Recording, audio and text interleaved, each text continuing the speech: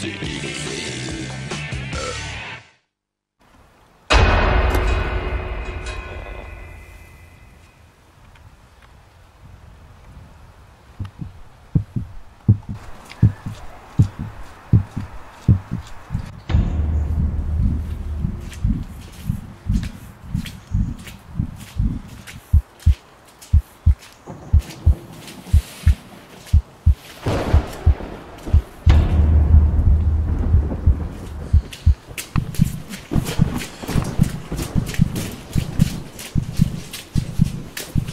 Ugh.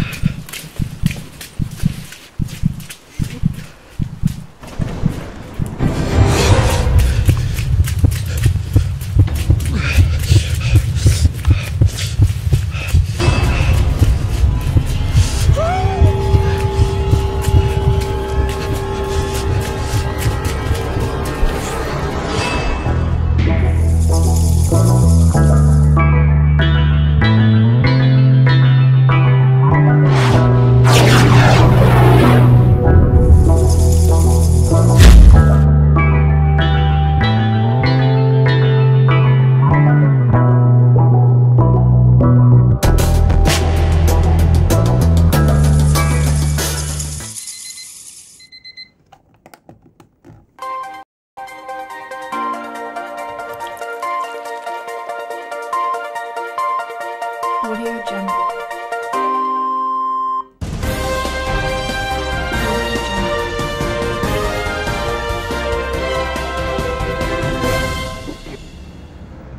Thank you. Yesterday, it's been reported to Bloomberg News that a student named Ryan Jones has been reported missing.